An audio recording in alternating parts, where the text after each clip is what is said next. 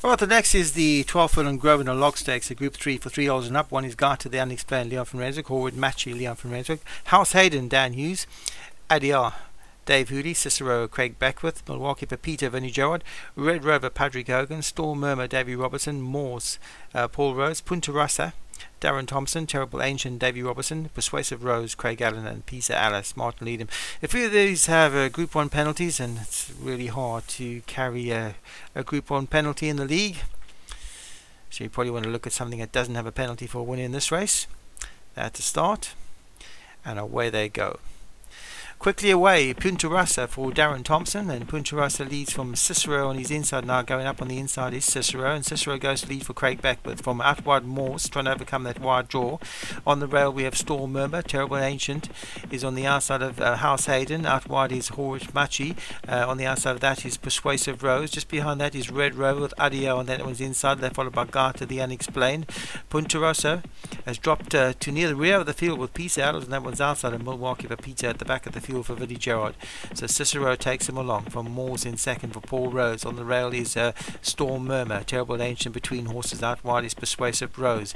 Even further wide is uh, Red Rover. On the inside of that is um, Adia, Househead, the grey is on the inside of Horridge Machi, then Peter Alice, be it with Gatti unexplained on that one's outside between horses, Milwaukee Pepita in the green colours, and Rosso, after leading early on, has dropped to the back of the field as Cicero takes him along for Craig Beckwith. So the Grosvenor Casino Lodge Stakes is led by Cicero. Moores is travelling well in second for Paul Rhodes. On the inside there is Storm Murmur. Adia is on the outside, inside of Persuasive Rose. Terrible Angel, that one's inside. House Aiden going well for Dan Hughes behind there. Then comes Horwich Matchy on the inside of Red Rover. They're followed by Peter Alice and Milwaukee for Peter. Puntaras has passed one, and to then explain who seems to be in trouble at the back of the field. It's Cicero leads from Moores in second. Then comes Persuasive Rose for Craig Allen. Horwich Matchy's moving closer, but he's going wide to do so. And then comes Storm Murmur. They're followed by Terrible Ancient. House Hayden is going very wide for Dan Hughes. On the inside of that is RDR. They're followed by out wide Red Rover. Punta Rossa coming through from the back of the field for Darren Thompson. It's Cicero in front from Terrible Ancient moving up into second for Davy Robertson. Up on the rail is Morse.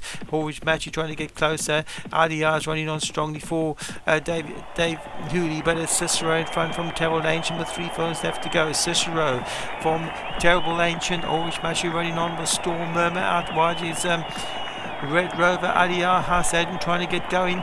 In front is Cicero, but now Terrible Ancient comes to join Cicero in front. House uh, Horwich Machi on the outside. Punta Rasa running on strongly for Darren Thompson. Cicero finding another gear in front. It's Cicero still in front here for Craig Beckwith on in between also Storm Murmur. Storm Murmur comes to pick it up for David Robertson and Storm Murmur trying to draw clear. Storm Murmur wins for, from Punta Rosso. Second is third is Cicero. Then comes Milwaukee for Peter and Persuasive Rose was back in fourth.